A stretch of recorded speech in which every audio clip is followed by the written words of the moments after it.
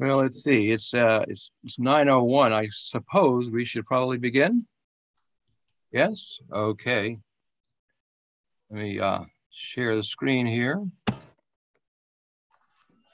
Good morning, good evening, or wherever you are in the galaxy. Welcome to the 2021 uh, Planning Committee meeting of the Millennium Project.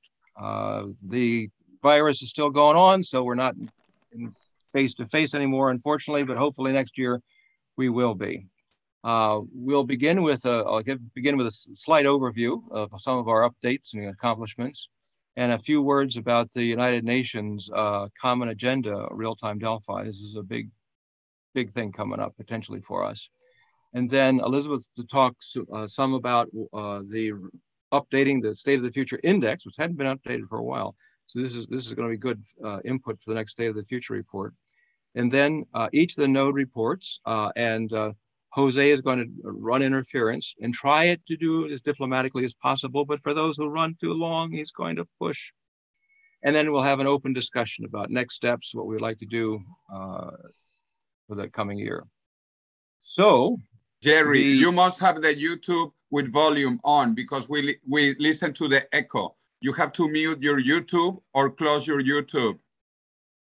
I don't have YouTube on. I'm not hearing any echo. I'll say you're the only one hearing the echo. Well, wait a minute. I can't tell what's going on here. Um, well, now I've just clicked myself. Okay, so everybody else is okay. Shall I continue? Yes. Yes? Okay. All right. So I hope you like this cover uh, Elizabeth and I have talked a little bit about the idea of a guy or a group of scientists who figured out how to um, curve space. Uh, we'll talk about that maybe later on in the open discussion. It's a great photograph of this. So the idea of, of the of a, you know faster than light travel, so to speak, the, the curving the, the, the the fabric of the universe looks like it's maybe possible. But anyway, that's an, we'll put that photograph somewhere. But so far, this is the cover. I hope you like it. Uh, it's a gorgeous cover, I think. And so we'll have the normal executive summary, the 15 global challenges, the State of the Future Index, which we'll be working on soon. Uh, the global developments. By the way, there are a lot of stuff that came through on the global developments. That's the one we did with uh, in cooperation with uh, Ernst and Young. It is so rich. I mean, I've distilled just the first part of the first question, distilled it the basics down to 12 pages. So it is murder amount of stuff in there. So we'll work on that. Uh, then we'll uh, there'll be a section on the artificial general intelligence. That issue is, is warming up around the world. Uh, and then the UN Office of Strategic Threats, how we did on that, World Future Day, and then the COVID scenarios and reflections. Um, the COVID scenarios uh, were pretty well received around, around as mentioned before, translated in, in Korean and also Spanish and also in, in Chinese. Um, the real-time Delphi and global developments, uh, completed that.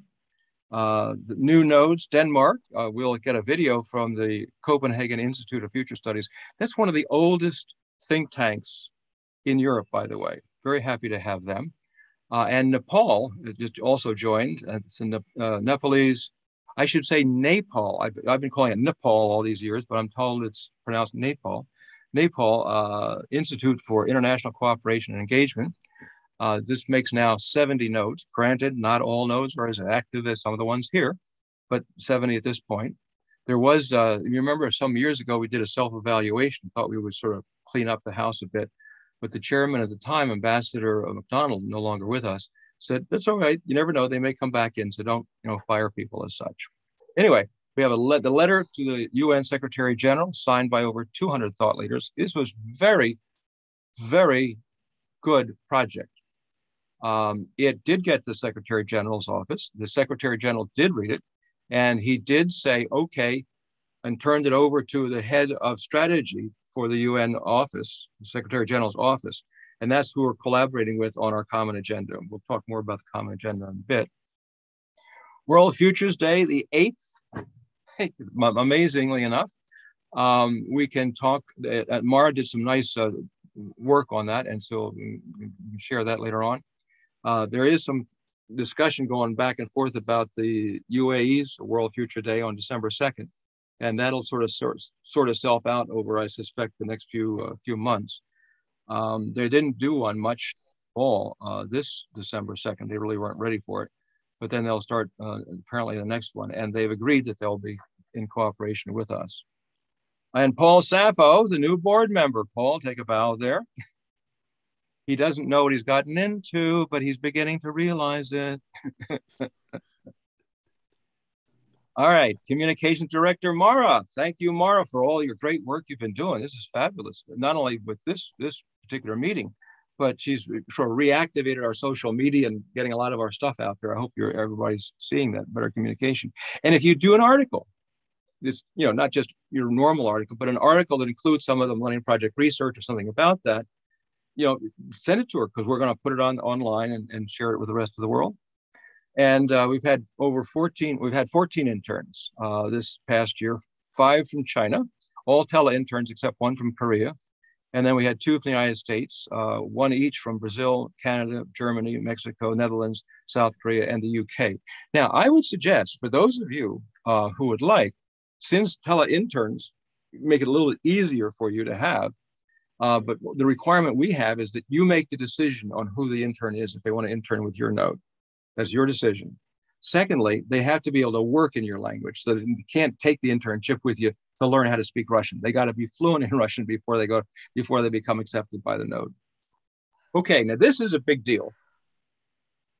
Um, our common agenda is the most future oriented statement of United Nations reorganization that's been issued by the Secretary General's office himself that has ever been produced in my my 25 years of UN relations stuff.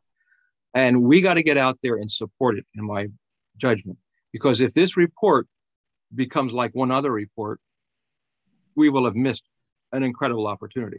Not only is the report future oriented, I mean, you can do a Google no, not to Google, but you can do a search inside the document and you'll see that the, the foresight is mentioned, I don't know, 13, 20 times throughout the document, which is really different than anything the UN's produced that I've seen. Anyway, the second part that's important for you to know is the Secretary General, Guterres, when he was Prime Minister of Portugal, set up his own foresight unit. So you don't need to explain to this guy, hey, this is important to do he's got it. What he needs is support. Because if the member nations don't sort of get in there and say, let's get with it, then it's, it's all pointless. So this is a, a once in, a, in our lifetime opportunity with the UN, I think. Um, now take a, they got, there's, there's, there's, six elements that I've pulled out. and We'll do a Delphi with this uh, coming up. The first element is a heck of a big deal.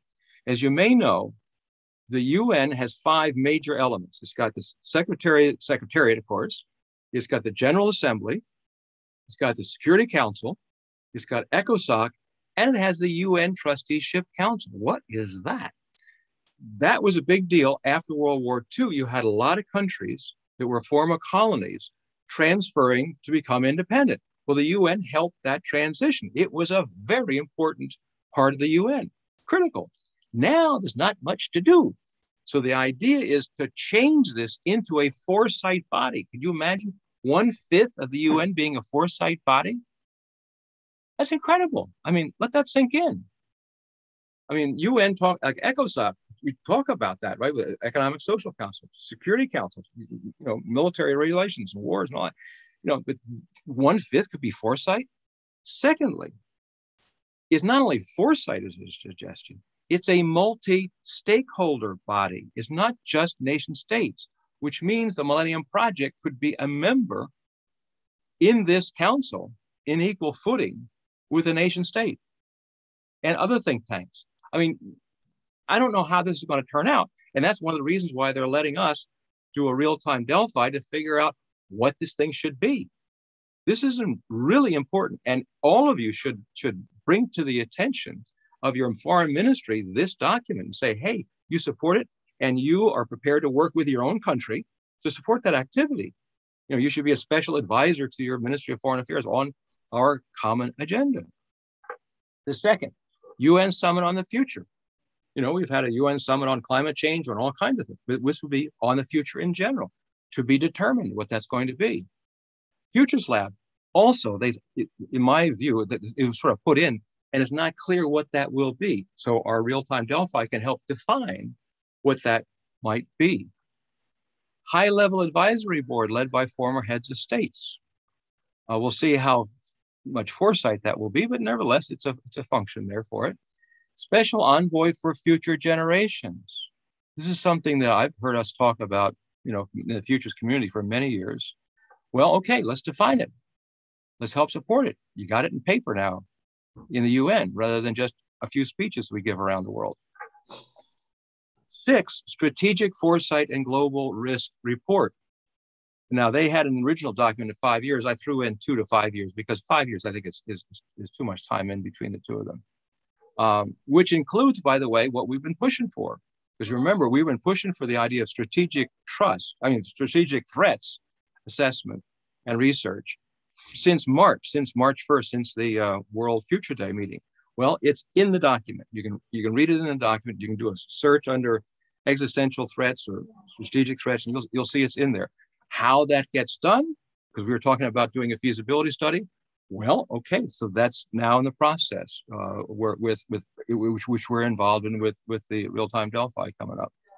Okay, so there's a report on the uh, on the disease. Um, unfortunately, uh, our mixed scenario, baseline scenario, did say there's going to be a bunch of mutations coming up, and it may and and that that then we may have to have new vaccines. And unfortunately, that's where we are.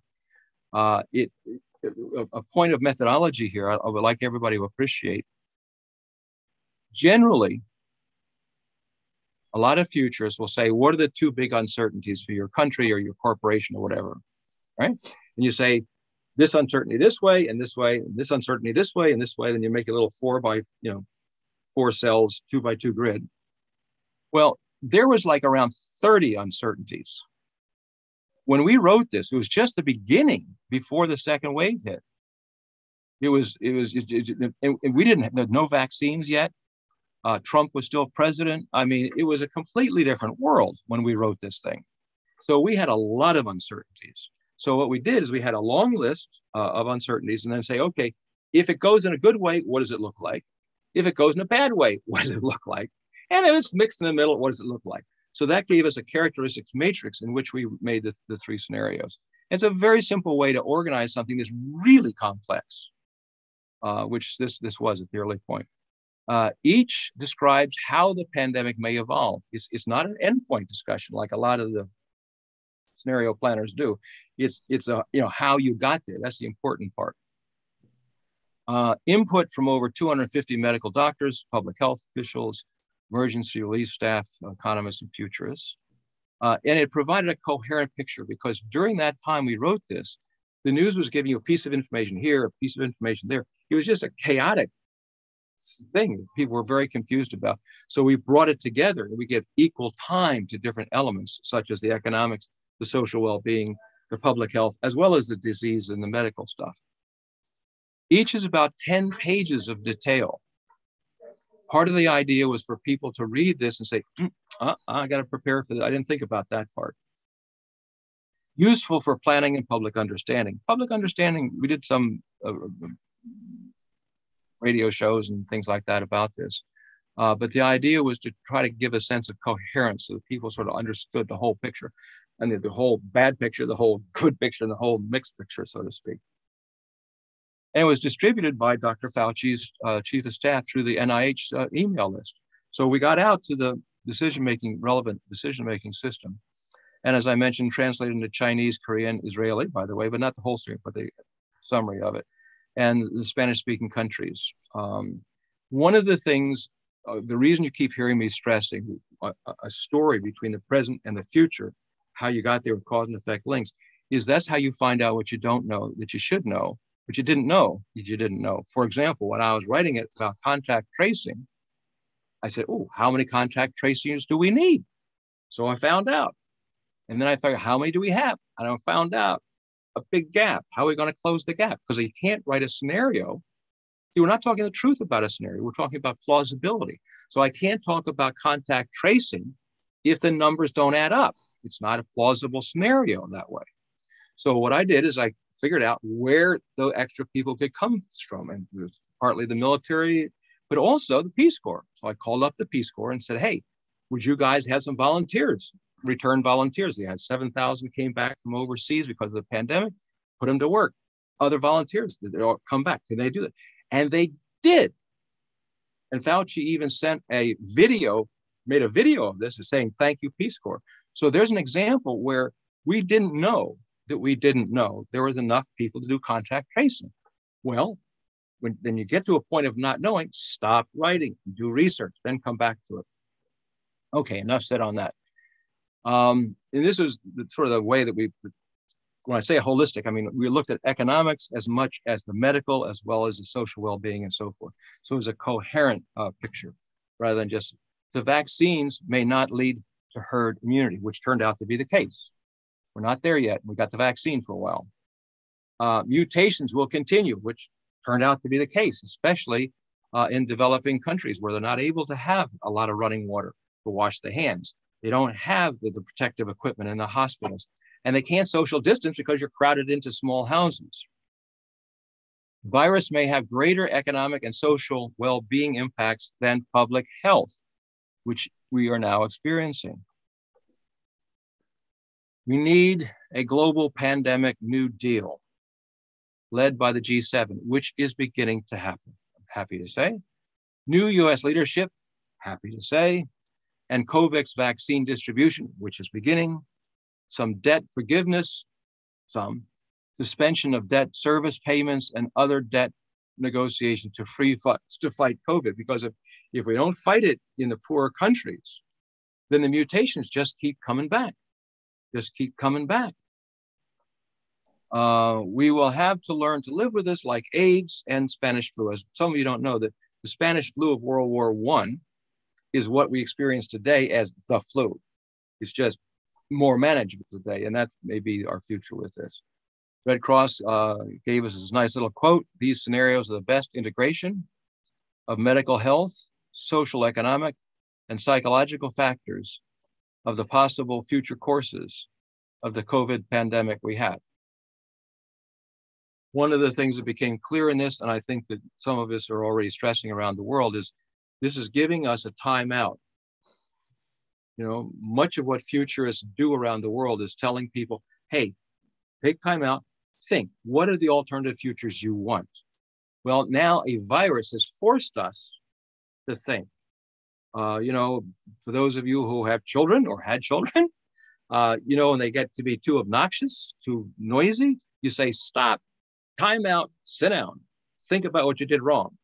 Well, civilization is going through that right now. Uh, and, and, and, and like after World War II, a great disaster, we had a time out to rethink, and out came multilateralism. You know, there wasn't much multilateralism before World War II. You know, collaboration of countries cooperating that's, that's, a relatively new thing in history. What may come out of this one? A, a better planetary consciousness? Don't know. But I think that we futures should be thinking about what are the alternative futures that come out of this pandemic, just like things came out of other disasters. You know, in nature, the new growth happens all the time after disasters. Okay, next, uh, we'll talk about next things after the uh, node reports. Uh, but at this point, I'd like to stop sharing